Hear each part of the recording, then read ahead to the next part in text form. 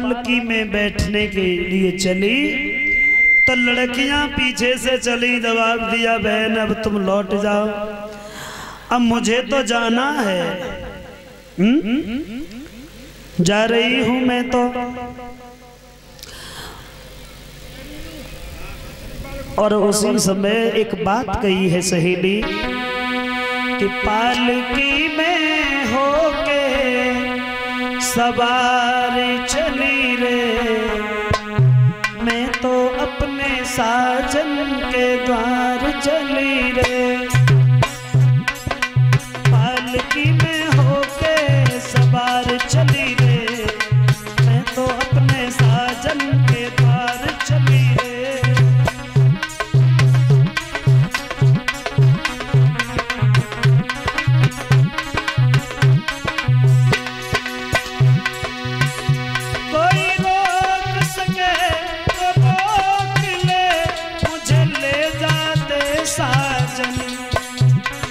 बचपन का प्यार भी विसार, चली रे।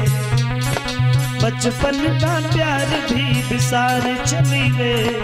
मैं तो अपने साजन के द्वार चली रे। पालकी में होके सवार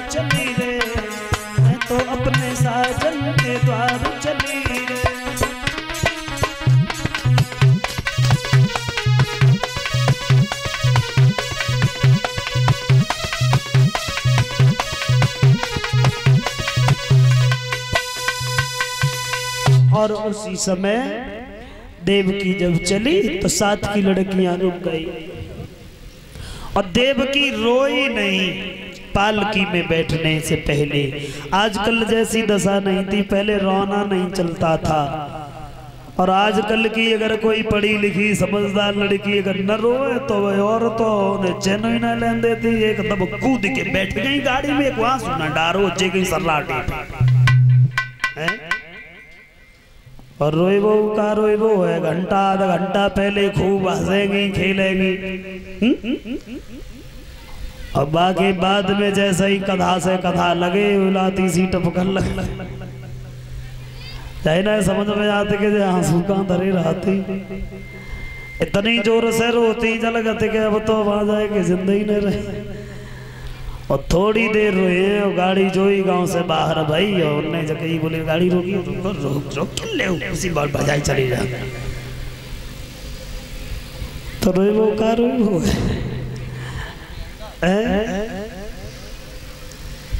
उसी समय देवकी नहीं रोई पालकी में बैठ करके चली कंस पहुँच गया। बहनोई वसुदेव अरे इस पालकी में कब तक पहुंचोगे? हम्म? हम यहाँ पे क्या कर रहे हैं? ऐसा करो, हमारे रथ में आ जाओ। हम तुम्हें सौरीपुर तक छोड़ देंगे। रथ में बिठा लिया और जब चला तो देवकी से एक बात कही, बहन सौरीपुर में जाकर के किसी से दबने की कोई ज़रूरत नहीं है। किसी से दबके मत रहना। अगर कोई कुछ कहे तो घमंड से कह देना। मैं भगवान भोजराज कंस की बहन हूँ। इतना कहोगी, मान जाएगा, और अगर इतने से नहीं मानेगा सौरीपुर से उठा लाऊँगा, मथुरा में ज़िंदा लाकर ज़मीन में दबा दूँगा, लेकिन किसी को दुखी नहीं देखूँगा, क्योंकि हृदय ही बड़ा दयालु है मेरा तो। करें क्या? और ये बात जब कही, और ये बात आज भी देखने को मिलती है। तुमने देखी हुई है जब घर में लली की शादी हो और लली रोई, अम्मा जब भेजती तो काय भेजती पता?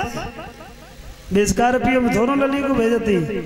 बे दूल्हा की चाँद बिठाए के भेजती, बोली, जाओ।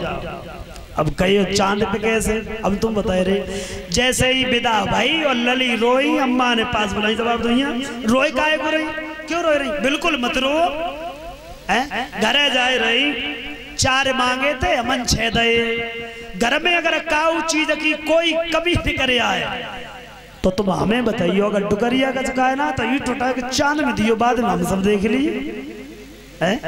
एक मोबाइल और दे देती, बोली, ले, फूल कर दियो जा और फिर अम्मा की पावर मिल गई तो फिर वे ललित हत्ती पे धरे काय तो मेरा मतलब है कंस ने भी वही बात कही। लेकिन हर माँ को अपनी बेटी को अच्छी सीख देनी चाहिए। बेटी जा रही हो। आज के बाद ये घर आपका नहीं है। जहाँ तुम जा रही हो, वो घर तुम्हारा है। कैसे रहोगी? ये तुम जानो। क्योंकि ज़िंदगी अब उसी घर में कटेगी। तो फिर वे लली ज़्यादा ऊँची ना चलेंगी। तो मेरा मतलब यही है भक्तजनों, बताया ये जाता है, कंस जब चला तो आकाशवाणी हुई। देवताओं ने आकाशवाणी की है, आवाज़ लगाई है कंसरा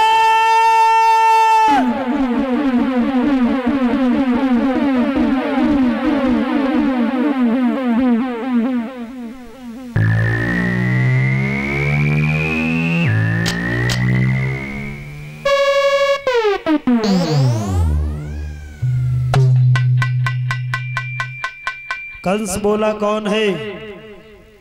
कौन है? आवाज़ आई है कंस। अरे लाल चुनरिया, उड़ा बहन को, और तू रथ में बैठाए। और सुन ले, पापी कंस राज क्यों इतना हरसाए और इसी के लाल होगा वही तेरा काल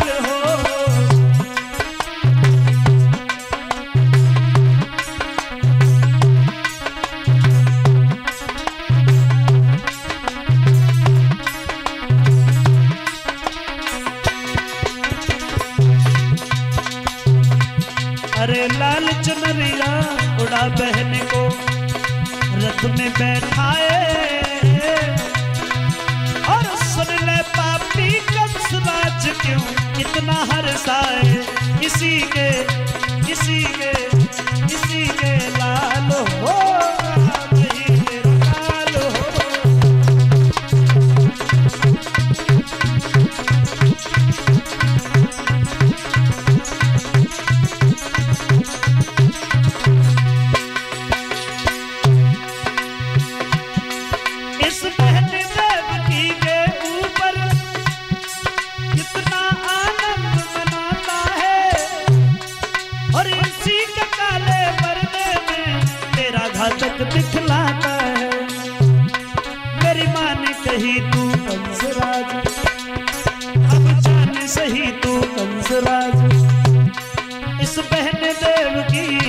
का जंजाल होगा होगा।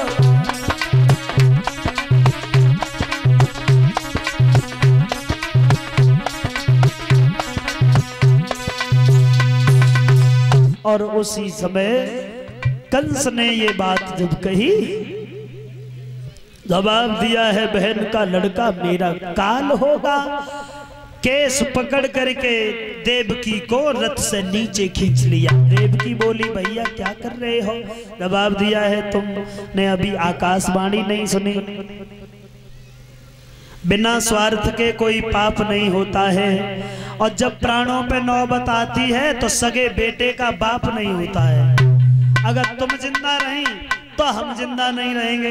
अब भाई, मैं मरना नहीं चाहता, मुझे मौत से बड़ा डर लगता है। अगर मैं मर गया ना तो मेरे पीछे मेरी प्रजा के न जाने कितने मरे जाएँगे।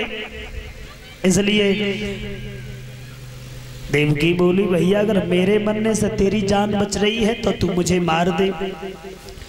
और जैसे ही मारने के लिए हुए तो वसुदेव ने रोक लिया। कंस क्या कर रहे हो? पागल हो? सूरवीर कभी अबला पे हाथ नहीं उठाते हैं। और हम यमुना की सौगंध खा रहे हैं, जब तक आठ बच्चे पैदा नहीं हो जाएँगे, हम सौरीपुर में नहीं जाएँगे। जवाब दिया बहनोई वसुदेव तुम्हारी आदत अच्छी है।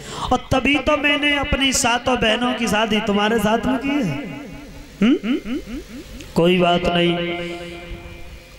देवकी और वसुदेव की हाथों में हथकड़ियाँ पैरों में बेड़ियाँ डाल करके मथुरा में बंद कर दिया, खुद राज करने लगा। अब तो कंस अत्याचार की हद पार कर दी। तो पृथ्वी गाय का स्वरूप बना करके ब्रह्मा जी के पास पहुँची देवताओं के साथ में। तो ब्रह्मा जी और सभी देवता कहने लगे, पृथ्वी, हम और आप क्या कर सकते हैं? अरे भगवान से ध्यान लगाओ, क्योंकि हरे ही हरे सकते हैं पीड़ा। अपने साधन अब बे ही। हैं निरगुण के गुण, निरबल के बल, निरधन के धन अब बे कहाँ मिलेंगे भगवान? बोले, कोई जगह खाली नहीं है। जहाँ भी भगवान को ध्याओ और जहाँ भी बजो उसी जगह आ जाते हैं क्योंकि तुलसीदास जी लिखते हैं कि हरे व्यापक और सर्वत्र समाना। प्रेम से प्रकट होए मैं जाना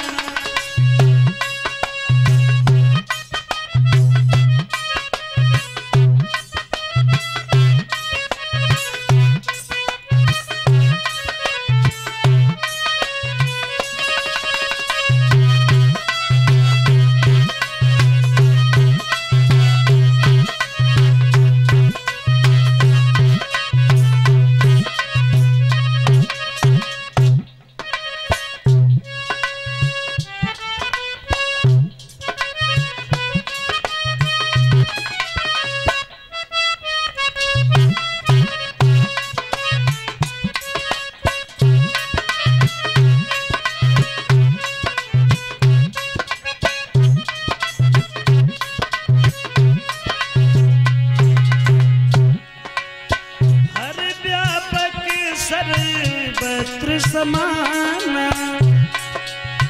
प्रेम से प्रकट मैदान।